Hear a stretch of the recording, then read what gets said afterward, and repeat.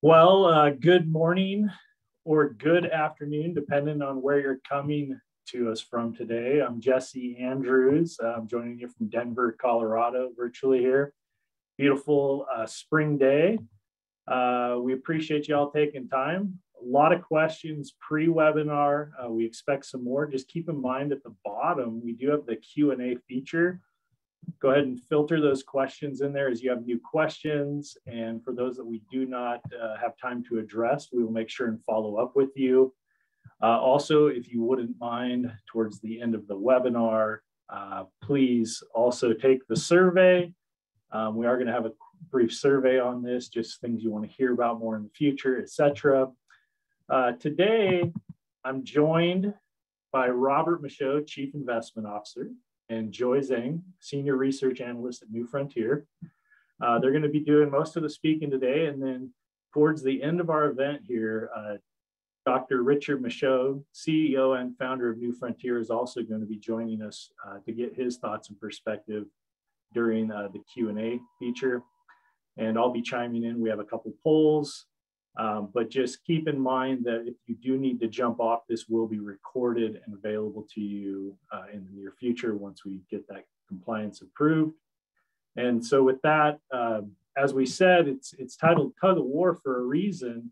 Um, just a lot going on from in inflation to interest rates to uh, there was even uh, last night mention of the R word. Um, although uh, the R word in the retail space, I think is uh, I heard once the word recession in the retail world is when your neighbor loses a job. And I think a depression is when you lose your job. So people are worried about their neighbors right now. And uh, this is our agenda. We're going to touch on our investment process for those of you that are a little bit newer to New Frontier, discuss some of the asset allocation changes, go over the performance. Joy's going to do that for us. And then Robert's going to come back on and uh, do some insights, perspective, and we'll close it out with some Q&A. Uh, so with that, uh, why don't I go ahead and turn it over uh, to Robert Michaud, CIO. CIO. Thanks, Jesse. Um, let's grab the screen here. Okay, good. So uh, yeah, thanks, thanks everybody for joining us. Uh, and of course, uh, we put a lot of work into investments, and when you have a quarter or a few months like what has happened recently, where things have not gone the way any of us would have liked in the uh, as far as markets go, uh, we want to put some focus on what's happened, understand what's going on, investigate uh, really seriously uh, what uh, has led to the situation, and make sure that our portfolios are working the way they should, make sure that our understanding of markets is still relevant. And it, one way I was thinking of it is it's a lot like what the NTSB does after a plane crash, which is that you want to, you can't change what happened, but you want to make darn sure that you really understand what happened so that it, you can prevent something like this from happening again if that's at all possible. So that's what we're going to be spending a lot of today doing. So be um, before I get into specifics about what's going on, I thought we would start with our investment process. And our, we this is really central to our approach to investing. We're always thinking about what do we understand? What does the world look like? What is the risk and return trade-off? And then really focus on optimizing a portfolio for uh, different investment objectives that really fit and are as scientific an approach as possible. And I was also thinking that given the amount of uncertainty in the, in the world, given the number of ways that the future can go that we really have no idea about, no one does, and they can be pretty dispersed. That's the whole tug of war concept. That uh, I wanted to relate to uh, to our investment process. So our investment process is based on how do you take a scientific approach to investing, given that you don't know what the future holds, you don't have realistic and precise estimates of risk and return. You have a, a general sense of what the risk and return trade offs are and what asset classes are more risky or less risky, relatively speaking, and uh, as, as well as return. So instead of taking Markowitz's Nobel Prize winning work and applying that directly, which is what most sophisticated investment firms try to do, we came up with a, a new theory to made a new efficient frontier where you're looking at thousands of ways that uh, markets can work out not exactly the way you'd expect. And this picture here is showing the very surprising relationship where uh, the best portfolio to invest in each of these scenarios can be wildly different. And that was an insight that made us wonder, well, is there a better way to invest given how wrong Markowitz can be, given how wrong one specific view of the world can lead to investment decisions. And this is the work that my dad and I did, where we came up with this new efficient frontier, where he said this idea is, is so interesting, so widely applicable that we just got to start a company based on this. And, and so here we are, uh, 20 something, 25 years later almost. But this new efficient frontier, what it does is it looks at the many different ways the future can unfold and comes up with a scientific process to have a well-diversified portfolio that's going to do the best on average, be as robust as possible, be as intelligently diversified, given that you don't know what the future holds and all sorts of risks are uh, possible coming down the down the path. And so that's what this dark blue line in this sea of future uncertainty is. And then the uh, last thing is I, about this is I just want to talk a little bit broader about our investment process, which is in addition to thinking about building an optimized portfolio, we're also trying to make sure that we're doing a lot quality control in a lot of other ways. So serious approach to risk management, thinking about uh, making sure we're not speculating, not taking big bets on anything, having a really consistent, really thoughtful investment process. And all this combined with our, our approach to optimization is really designed to say we don't know what the future is. There's a no one can promise a guarantee a return, but we want to reduce the dispersion as much as possible. And that's what this picture on the right is, is showing uh, you. And then uh, finally, uh, when things are changing a lot, you want to make sure that your portfolios are being monitored. And so how to monitor a portfolio, uh, hopefully you understand that we come up with these highly optimized portfolios for a certain type of an investor. Uh, your investor invests in them, but then what happens, right?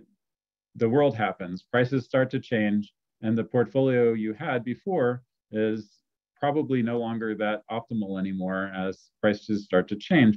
The other important thing, which is really what's going on these days, is that the world changes, the risk environment changes, the interest rate environment, expectations about future equity volatility change. And so you, you need to think about what's the new portfolio you should be investing in.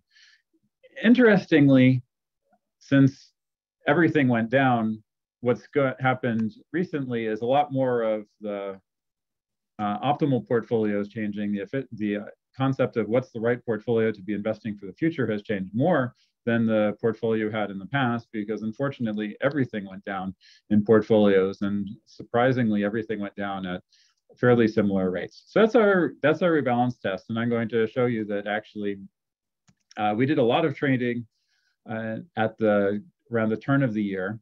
Um, we rebalanced essentially all of our portfolios at the turn of the year. And that was because of things that had happened earlier. Obviously, not because we were anticipating uh, Russia to invade Ukraine, but uh, because of we mostly changes in the fixed income environment that were already becoming apparent. Uh, it was already a heightened volatility in fixed income. There was already uh, less reason to be investing in duration in, uh, uh, in the fixed income portion of your portfolio. Not no reason, but less reason. And so we made, and we were concerned about inflation. So we made some changes to the portfolio. One uh, big one that was clear was China. Uh, in uh, Chinese regulatory environment, it wasn't, we weren't uh, thinking about COVID zero so much, we were thinking about the Chinese regulatory environment and how investors would be rewarded. So uh, we removed China, which had been extremely helpful to the portfolio, remember, through much of the pandemic, but uh, no longer was as important. We wanted to also understand that fixed income volatility is much higher. So how can you maintain overall portfolio consistent risk targets uh, without just buying more stocks? And one of our solutions was uh, to add international min volatility, uh, EFAV, there to the portfolio. And one thing that allowed us to do is uh, lower overall bond exposure while maintaining portfolio risk as well as lower the duration within the bond um, portion of the portfolio.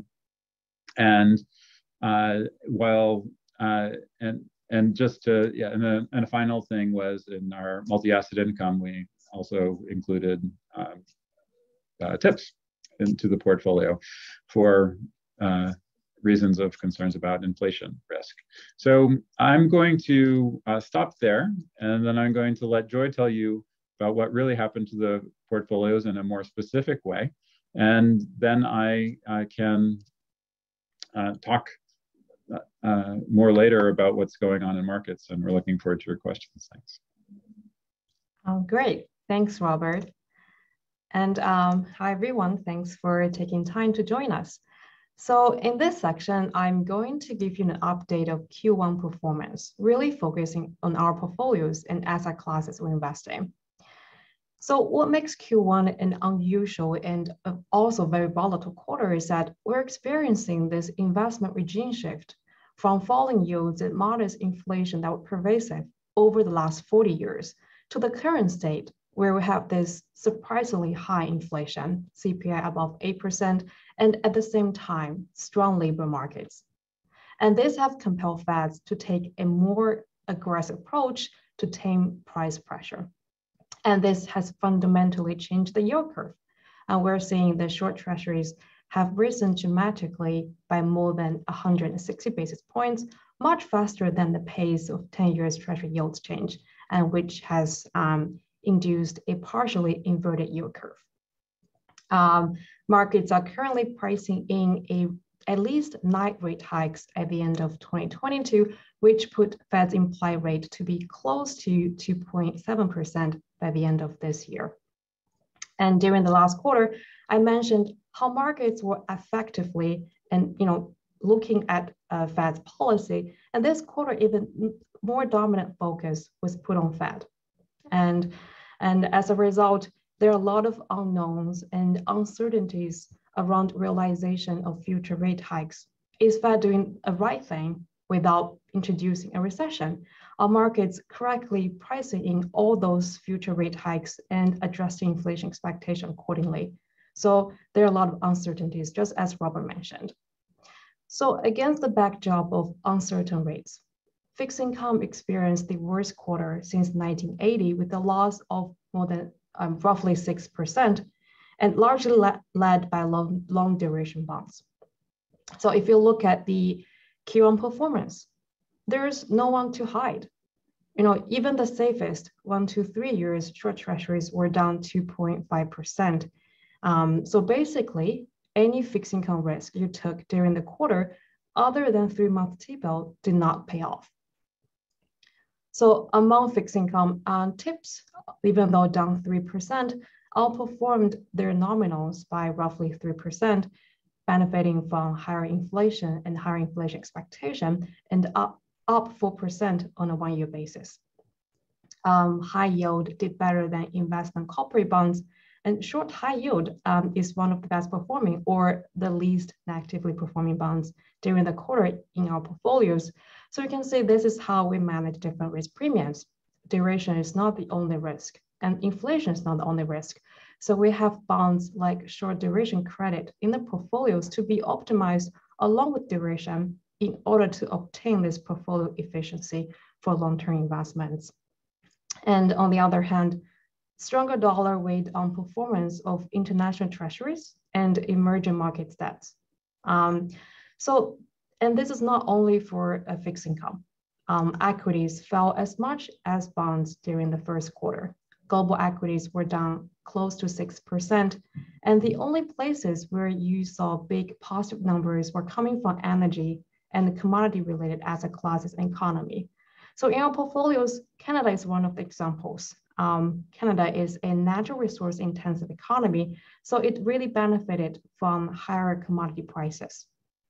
Gold is another example, up more than 5%, providing additional stability to our portfolios. And there are several other major themes to note here. Um, value and high dividends did relatively well this quarter.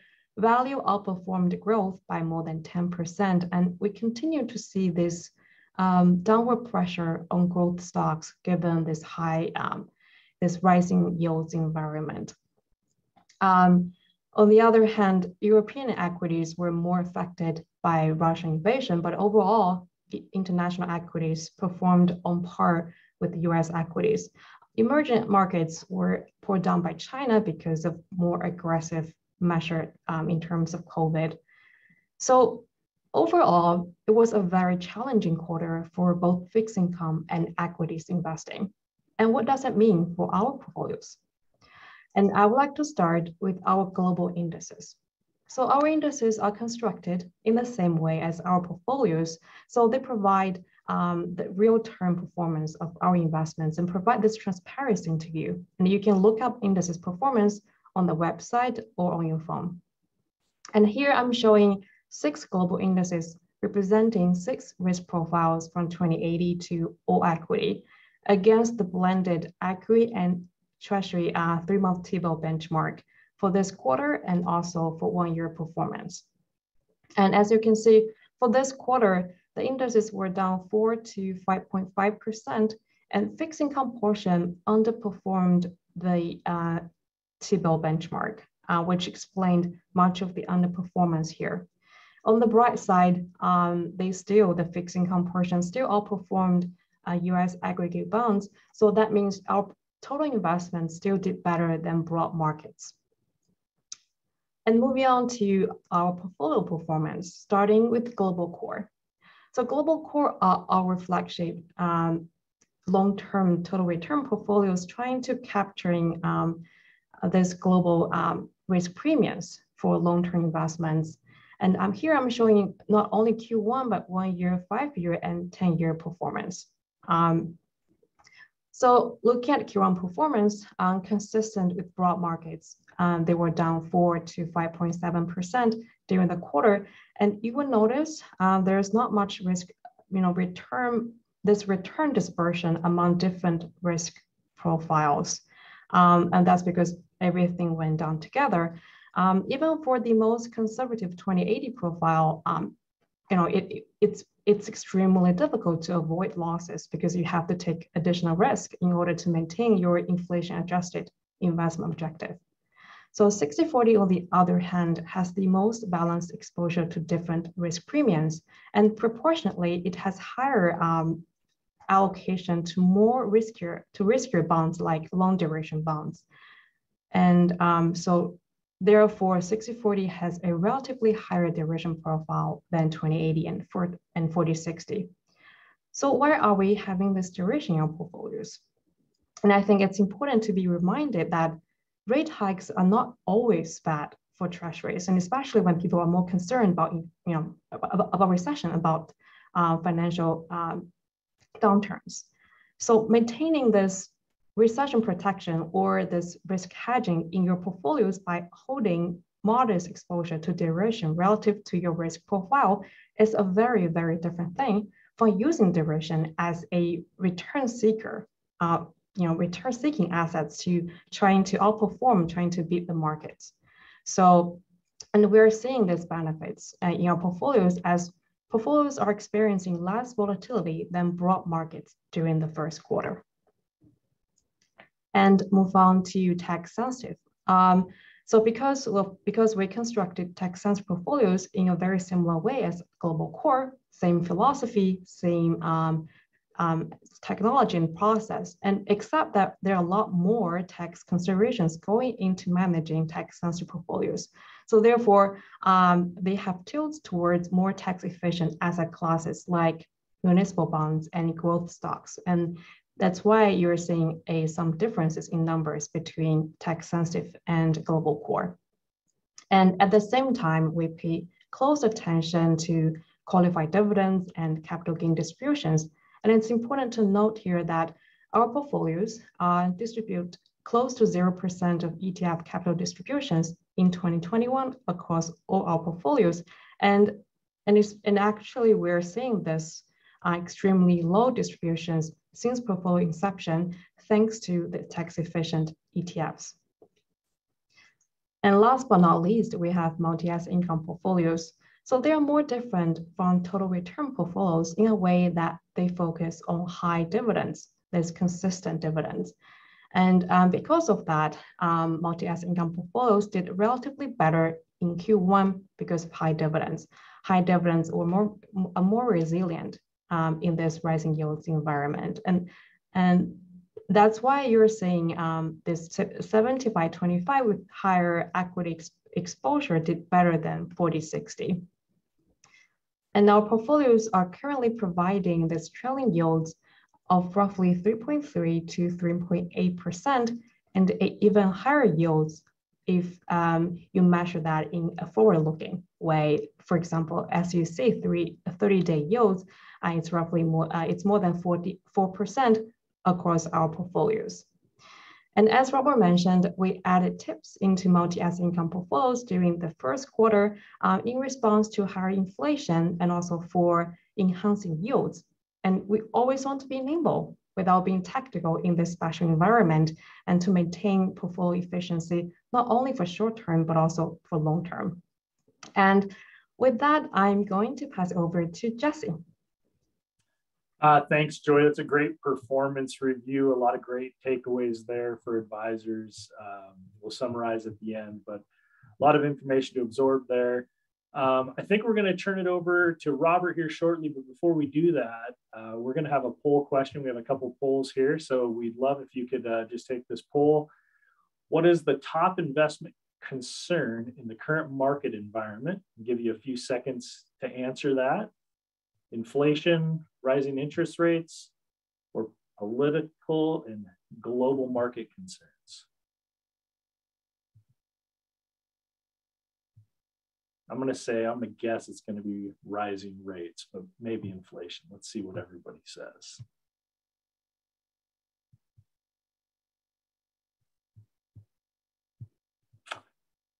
Well, it looks like uh, inflation takes the cake, uh, 44%, followed by rising interest rates at 35%, and then uh, geopolitical concerns 21%.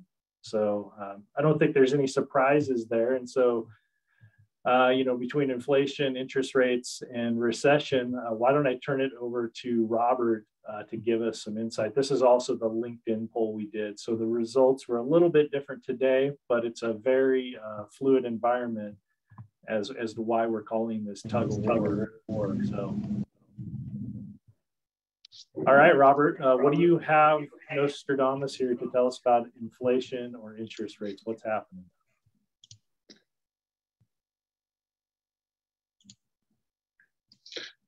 All right, thanks, Jesse. Um, let's see if I can, good, start going. So, uh, right, so this was this was a, a challenging quarter.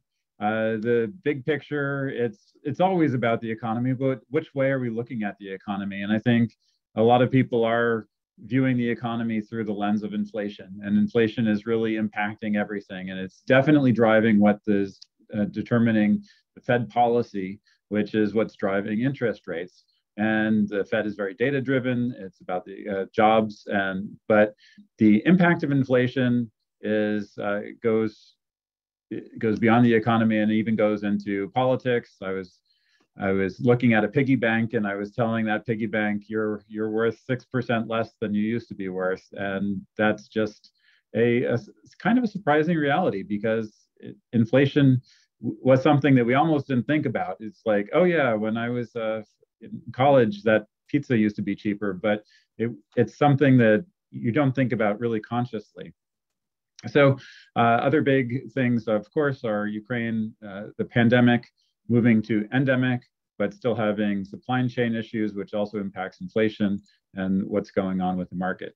So uh, this tug of war concept, we had a lot of fun with it. I kind of had a, a lot of fun with it uh, in terms of trying to to think about well you have this yield curve and the fed is pulling hard on one part of the yield curve what goes on with the rest of it what are all the economic forces at play and given uh, the amount of uncertainty going on in the world it's yield curve could end up just about anywhere and so could the economy with it on the one hand we have a booming economy according to some people anyway doesn't feel like it with uh, job number uh, the uh, GDP. We can talk about that later. But we have really low employment. We have uh, companies still willing to invest, consumers that are willing to spend a lot. On the other hand, we have uh, invasions, we have inflation, we have supply chains still very much affecting things, especially with uh, what's happened in China.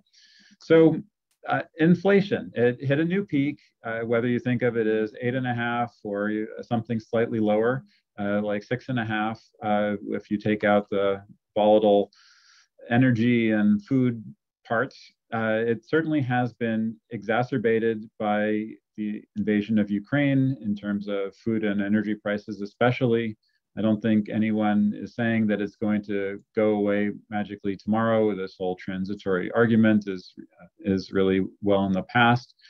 Um, but there is some thought that it could be at a turning point. And you see it spiking across all of these different countries and really everywhere but um, Asia, pretty much. And some of these don't have the, the, latest March number, so they could be even worse. But um, but there's some hope that it will start to turn. Uh, the rate hikes from federal uh, central banks haven't really kicked in yet, and those are very much designed to combat inflation. And at some point, supply chains will ease, and uh, the economy will get back to operating at full capacity. And uh, people are getting tired of the pandemic all over this country, at least. So that hopefully will be happening sooner than later.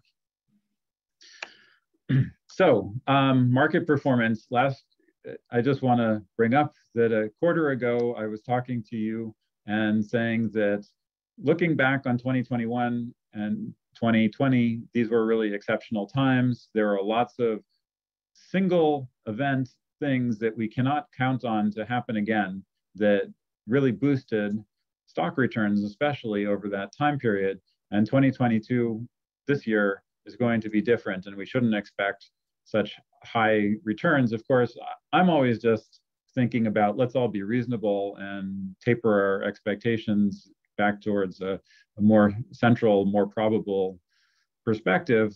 And of course, was not expecting this quarter to be as uh, as bad as it has been. And this is definitely something where things have gotten worse than expected. And uh, uh, a big part of what's uh, been expected, worse than expected. Everything's down, everything except for energy and commodities. Joy talked about this a lot. Don't want to bore you again, but I want to emphasize that it was bad for stocks, but really bad for bonds. And so uh, that makes us go back to uh, NTSB mode and say, well, are things still behaving the way they should? Uh, short-term asset correlations are actually still working okay. And there is this uh, silver lining argument, perhaps, where the economy is still relatively strong. Volatility is higher than we want, but it's not unmanageable. And the good thing about interest rates rising is it lets certain parts of the economy function in a much more normal way, especially the financial sector, bank accounts, and uh, and it gives more room to move. And so it's not a bad thing in and of itself for interest rates to go up a little bit a lot of people were unhappy that they were so low for so long.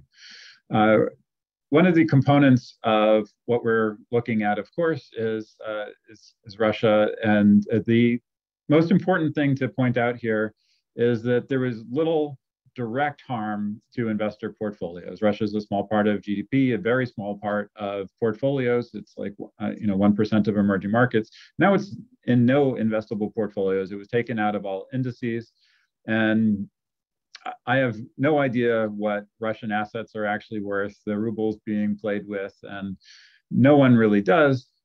But uh, I'm, I think everybody is very happy that no portfolio has any exposure directly to any Russian asset anymore. Now, inflation. I, I want to think about does what does inflation mean going forward? So we know there's been a lot of inflation in the past. Does that mean a couple of simple questions. Does that mean that you should be concerned about investing in stocks or you should be concerned about investing in bonds or, or some combination of this? And so I looked at data, uh, looked at more than 100 years, but the last 80 is at least a little bit more relevant. And the simple answer is there's really no relationship between inflation from the last year and stock or bond or the difference between stock and bond prices going forward. So the point of these curves is that I, I looked at all combinations, uh, sorry, not curves, dots, uh, but the, what you'll see is that there's really no serious relationship between uh, in past inflation and future returns of any kind. So that gives you some confidence that you want to understand what your portfolio should be, you want to understand what the risk of your portfolio is, uh, but don't don't make big investment decisions just because we had some inflation in the past. What inflation does really matter for is the Fed. And if you want to just focus on uh, the green line, which are in uh, shortish term inflation expectations, two year inflation expectations, and then the white line, which is the market's interpretation of what the Fed says it's going to do as far as rate hikes go, you can see that as inflation started, expectations started to creep up over the last year, that it, there was a very direct relationship between what people thought the Fed was going to do and what the Fed indeed was communicating that it was going to do in terms of rate hikes. but right now, uh, real yield is very low. So this is the a yield curve. The blue line is the yield curve as of the end of last quarter. It's higher now, as we all know. But uh, the red line is the inflation adjusted yield curve. And the thing I want to point out here is just how negative it is. If you are invested in a short term treasury or any or a bank account or a CD or anything remotely like that, if you're not taking any risk with your investment accounts, then you are guaranteeing almost that you're going to be losing uh, real purchasing power. This is my conversation with the piggy bank of you're just it, you piggy bank you got to be doing something else because you've just lost 6% of your value over the last year and you're going to lose another 4% at least over the next year so thinking about the components of what we're investing and thinking about how the portfolios fit together. And there's a, a, dilemma that I just hinted at for conservative investors, which is sometimes we get the question of, well, if we all know that interest rates are going up, does that mean that a conservative investor should actually be all in stocks? And the answer is no, because you markets always price the risk and return relationship of various asset classes so that safer things are not expected to reward investors as much. That's that's how how they work. So stocks are are still risky, but bond bond volatility is high, uh, relatively speaking. Still not more risky than stocks. And if you're too conservative, you're likely to invest in negative real returns. And uh, this is where I say that even if you're conservative, even if you're really just worried about uh, holding on to your purchasing power, I wouldn't recommend going all the way to cash because that's uh, guaranteeing you'll lose. Of course, it also guarantees that you won't lose by more than 4% or so. But I think uh, markets should be probably, especially over time, able to do a, a lot better than that. It's also a challenge for building a balanced portfolio. When you build a balanced portfolio, you do have uh, these balancing the future return expectations that may be lower, thinking about uh, a, a, very dynamic relationship between stock risk and bond risk, and want to make sure that the correlations between stocks and bonds are still what we thought they were, and that you still are getting diversification benefits. And are there new asset classes that you should be considering? So I, I think there are some answers to some of those questions but it, it is a challenge. So just focusing on the correlations, one of the most between stocks and bonds, which is one of the most important inputs into designing a optimized, well-diversified, well-risk managed portfolio, because you've got to understand what are the bonds doing and how do they relate. Um, I want to remind people that correlations is not the same thing as direction. So I picked on the left a five-year period where markets were going up and interest rates were going down. So it was a good time to be a stock investor or a bond investor, which has been a lot of experience of the last 10 years or so. And but uh, correlations between stocks and bonds have been consistently negative over that time period. So we're very concerned and said, well, recently has that changed? And we, especially when you looked at what Joy showed you, which is that everything went down 6% last quarter and has gone down even more this month. So is everything gone down in lockstep? And clearly it hasn't. So that is reinforcing that there are different things going on in the markets. Uh, the reason why things happened, uh, returns were as poor as they were last quarter, was because you thought things were bad and then okay markets have accounted for that and then there's another negative surprise and then another negative surprise and it, a feeling of always being one step behind. But that doesn't mean that uh, the relationships between asset classes aren't aren't still working and that's that's important to be paying attention to. And this is just a long-term picture for uh, treasuries. Correlations are uh, occasionally go positive for a little bit, but have been predominantly negative between stocks and bonds. But the more important thing I wanted to show you is the top blue line, which is the Treasury Volatility Index, which is called the MOVE Index. For uh, and so the and what you see all on the way on the right is where we are now, which is uh, possible hinting that we might be in a, a continued period of high fixed income volatility. And so aside from a couple spikes, this is about as bad as it gets. Uh, commodities. I just wanted to address commodities because these have been the best asset class by far for the for recent time last year-ish. Uh, but some commodities really aren't investable and we don't we don't have them in our portfolios. Why didn't we have them in our portfolios? Should we have had them in our portfolios? And just think about commodities themselves. They're highly volatile uh, and they don't you know they don't have they're not a regular investment asset. Also think about the instruments. Uh, the instruments for uh, commodity investing is is not always what you would want to be investing in. Um, they essentially a big reason is that you have to be you can't just have a grain silo or a big warehouse full of steel bars or whatever uh, things you uh, want. You have to have generally invest in them through futures.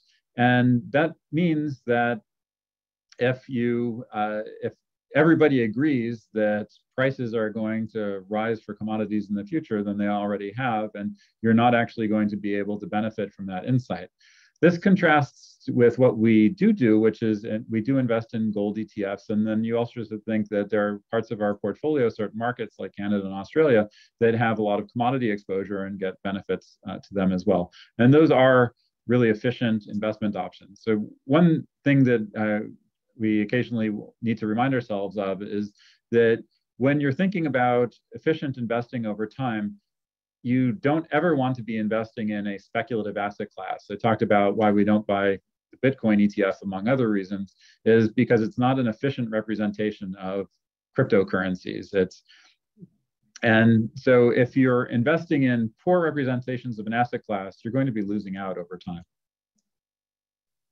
So TIPS. Uh, TIPS is a perfectly valid asset class, and this is something that we've added to some of our portfolios and has something we've been uh, paying attention to a lot lately. And uh, because, of course, when you're thinking about inflation, you're thinking about, well, how can you protect against it? But I want to remind you that inflation is driving the Fed interest rate policy. So uh, when you have high inflation, expectations, if so just do a thought experiment, suppose they were to rise, then the expectation would be that the Fed would raise rates more. So if you owned a tip, you'd say, oh, new surprise to positive surprise to inflation. That's okay. I, I got I have TIPS. I should be covered. But then what else is going on? Well, there are bonds that does have duration and interest rate exposure. So when the interest rate expectation goes up, the Fed is probably going to have to be more aggressive to hike rates more, and interest rates will rise. And the net effect is you won't be as protected from inflation as you think. And whether it be for uh, on the good side or or the on the negative side. And recently, at least, uh, TIPS have been roughly a 50% inflation hedge because of this relationship with the Fed. This is a picture of uh, TIPS versus similar duration intermediate treasuries. And so when inflation expectations start to drive things, then they'll diverge. Uh, China, uh, just to bring up uh, China, which is something that we removed from our portfolios over time. I wanted to point out that there is a, a, the main reason was is our investors getting rewarded for investing in China, lending in Chinese equity markets, and there was this very spectacular day or two where the Chinese government seemed to be announcing that it would be stopping this policy of regulating the tech industry as much as it had been, and there was a a, huge 20% spike in one day. Uh, and if you were really focused, it was actually much more than a 20% spike on the certain on the most affected type of Chinese stocks. But uh, unfortunately for investors, this hasn't uh, really fully confidently played out, and so it was not the right time to invest in China. Of course, uh, COVID zero policies and outbreaks in Shanghai don't help Chinese markets either. So the ETF landscape and what's going on there. Uh, one thing to pay attention to is uh, that there have been continued mutual fund to ETF conversions, and this is good for the ETF industry, good for people investing in ETFs, and it's just an acknowledgement that this is really the more modern way to be investing and building portfolios. A sharp reminder of why someone might prefer ETFs over mutual funds was a month ago when Vanguard got sued by a bunch of their investors for having too much and some supposedly unnecessary capital gains in their mutual some of their target date mutual funds and uh, and this is uh, without it, this is because of changes in uh, the structure of the mutual funds and causes withdrawals and then and then the people invested are left holding the tax bag. Uh, but this wasn't just Vanguard. Uh, this happened to a number of other uh, invest uh, mutual funds, especially target date mutual funds last year. But it also happens not just in target date mutual funds; it can happen in anyone. Uh, I'm bringing this up because taxes, tax day is hopefully, thankfully, behind most of us. But uh, you know, trying to build really tax efficient portfolios is one of the things that we do and pay a lot of attention to. Um, so, uh, what do I want to leave you with? I I think we all understand that inflation is affecting everything right now. It's uh, affecting uh, the Fed policy most of all, Biden's approval rating. You could make the argument that because uh, uh the pandemic and inflation concerns, that uh, Western democracies were kind of lost their nerve and were in a weakened state, which allowed Russia to invade Ukraine because you know they're not going to make inflation worse by getting rid of uh, Russian oil, right? So hopefully that will that will get better. But uh, stock market valuations and expectations for growth stocks are is highly influenced by uh, interest rates, and uh, and that has to do with both the speed of the economy as well as sort of the discount rate. Uh, how desirable is it to be an investor in some sense, which affects uh, stock valuations as well. So it's always a combination of two, these two things. Um, so another thing is that you want to think about, if you're thinking about inflation or you're thinking about any risk in general, always think about your whole portfolio all of the assets in your portfolio and is your whole portfolio uh, is each of these assets accounting for those types of risks rather than saying i'm going to put everything on just TIPS or just commodities or just one sp- specific asset class because that's doing a couple things. It's ignoring that there other types of risks out there that are probably going to uh, you know that could be popping up in the future and the mark and markets already know and is already worried about inflation. So every asset is already priced to take this into account. And the the other part is that uh, different assets, even uh, like equities have some inflation uh, hedging components to them as well. So, uh, and just looking back and looking forward, well, this was a poor quarter for bonds. For this something as bad to happen again would be mathematically difficult because that would be a comparable level of surprise that would make us think, just as we did over the last quarter, oh, there's going to be about eight more rate hikes than we were expecting earlier. Well, now there would have to be 16 more rate hikes than we were expecting. And that seems a little bit implausible. So why don't we pause here and go to questions and give it back Great. to Jesse. Uh, thanks, Robert, uh, for summarizing that. Uh, before we do go to Q&A, Joy and Dr. Michaud are going to be joining us here on screen. Um, but I think we're going to pop up one more poll question, if you wouldn't mind, and then go into question. What is the likely outcome of the Fed's anticipated rate hike? Inflation will worsen and the Fed will have to tighten faster. The Fed will proceed with the planned nine rate hikes, or inflation will moderate and there will be fewer hikes than anticipated. Give you a few seconds to answer that. Move on to Q&A. Drum roll, please. All right, it looks like uh, inflation will moderate at fewer hikes than anticipated. So, to quote uh, a podcast I heard recently, it's one thing to say you're going to raise rates, it's another thing to actually do it. And so, with that, uh, why don't we pop up uh, the first question here? Uh, Dick, are you with us out there? I sure am. All Hi. right. Well, thanks for joining us today. So the first question we want to touch on a lot of questions on inflation. So it's just simply, you know, what are your thoughts on inflation and where do you see it going from? Well, I, I think that Robert did quite a nice job on a number of things as far as inflation, and, and, and Joy did touch on it as well. But let me just quickly, because we don't have a whole lot of time left here, uh, practically every investor has been in, impacted by inflation and fears and declines in capital markets. The, the S&P was down 11% now, uh, the NASDAQ 20%, the Dow 7%. And of course, the fixed income markets uh, are also uh, uh, agreeing. So there's no place to hide. This last year, you know, the S&P was up 27% and the NASDAQ was up 23%. It's a little bit of a change, right? So it does depend on the time periods and we have been living through a strange time period. So uh, what, what I want to do here is, is just talk a little bit about the uh, different factors. The uh, Ukraine-Russia is an ugly and depressing war.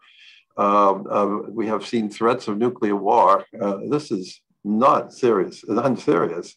Uh, Putin has been uh, planning this for a long time, but there's uh, some interesting uh, news here that he is he medically well. I don't know if you've seen his uh, shaky hand, and there are some good news here. So this, uh, what Robert's idea of tug of war, that Zelensky is doing well, the impact on global hegemony is just absolutely amazing. Putin did not believe that Europe would fall in line with the U.S. and other countries and the Biden administration has been supporting Ukraine full time. The Federal Reserve. The Federal Reserve uh, needs to tame uh, inflation, and Jerome Powell said that's what we're going to be doing. So 50 uh, basis point hikes are definitely what's happening shortly here. Janet Yellen had a very interesting um, speech here. Just uh, I think I believe it was yesterday, talking about the uh, impact of stimulus on, on inflation. Uh, if you remember, t- uh, 2020, we had a stimulus program with uh, Donald Trump as president. And now, of course, in 2021, we had another uh, even larger stimulus package. What Janet was saying is that uh, maybe we, we're worried too much. maybe we put too much stimulus. We don't know. Okay. certainly, other central banks are not in a position to help. That's the big problem here. And, and, and so this has been a big impact on global and economic growth. There's no question about it. And then we had not only the Fed and Ukraine and so on, but the pandemic. It's been a negative impact on common experience. I, I don't know if anybody believes, feels the same way I do, but it's, it's been really difficult getting up in the morning for, now, for quite a long time. uh, there have been 1 million deaths in the US alone, 80 million recovered, 6 million deaths global.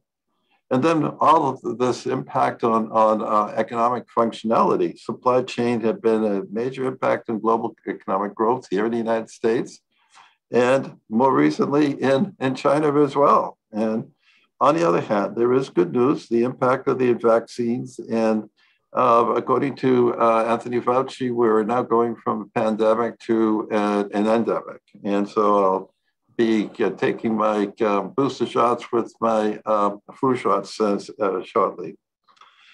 A negative view of China. If the major lockdowns and under President Xi's COVID policies, remember Shanghai has 25 million people Talk about a, a lockdown with 25 million people in the United States. You can't you can't imagine it. Okay. And uh, uh Russia, uh, uh China's been uh, supporting the Russian uh, ruble and policies and so on. And there is a major supply chain issue in, in China. Um, there's 500 ships just sitting around in Shanghai harbor right now. It's even worse than it used to be in uh, Los Angeles. A US poll just recently, 82% negative views on China. And that's a big, big change. change. So, how much inflation? Recent decline in economic growth in the first quarter, but not for some serious factors. So we got a, a, little bit of news, but it wasn't very large and it wasn't very necessarily significant. We're supporting, uh, people are supporting the Russian ruble in policies. Well, uh, that's a big problem. Um, we have major supply chain. Uh, I'm sorry, well, we, we don't have um, uh, Venezuela inflation, right? Uh, Venezuela inflation is 2,000% plus. So where's the recession? When you go to a parking lot in the mall, it's full. Where's the recession?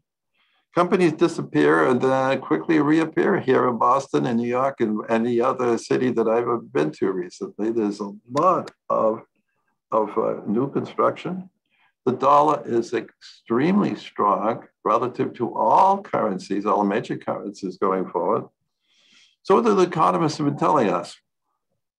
The possibility of a recession in 2022 or a mild recession in 2022 or perhaps not.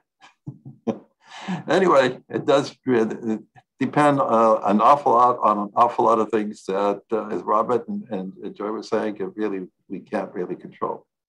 So stay well diversified uh, for the future. Let me turn it over back to Jesse.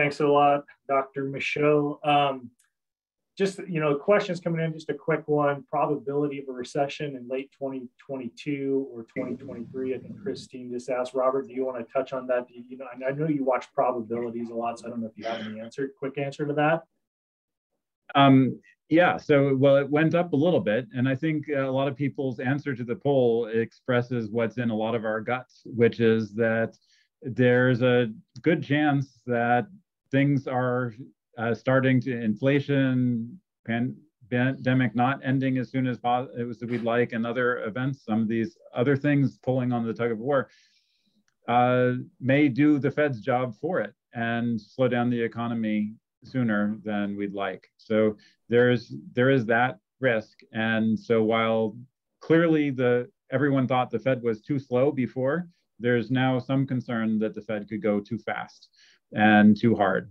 And but I, I I do have some faith that the Fed will understand that and not massively mess up. I think they'll probably minorly mess up because we're all human. Great. Um, I'm going to go ahead. I know we're, we're up against the hour, but there's a lot of people still on the line. If you have time and you want to, we're going to take a few more questions, but uh, you know, don't feel like you have to. If you have to run off, we understand. Um, we'll, we'll, get some answers out as well the next thing here is just relating it to our portfolios, Robert. Why don't you, you know, there's a lot of concern in the fixed income space and what types of adjustments have we made or might we consider in the fixed income side of the portfolio, given the volatility around fixed income? Right. So we, we already have made a lot of adjustments and we've had a, a, pretty healthy exposure to duration for much of our 18 year history of investing in portfolios. And in December, we lowered it to it was under uh, five percent or so in the portfolios, and that is the lowest exposure to long treasuries we've ever had. And it's remember, it's in there for risk management. It's in there because it is. That's why I had so many slides on correlations because we're really concerned that, that we're understanding all the risks in what we're investing. And you don't want to build a conservative portfolio that's just all high yield bonds. Uh, that's not a conservative portfolio either. So this is this is the conservative investor's dilemma right now of how do you uh, manage the risk of maintaining real purchasing power uh, with inflation high and bonds guaranteed to not make it. And that has definitely dramatically increase the risk of everything. And so sometimes you can see the risks and sometimes it's harder to see the risks. It's that's why I brought up this piggy bank. The piggy bank looked like it was really just safely sitting there on the shelf, but that piggy bank was going through a, a rough year and it didn't even know it.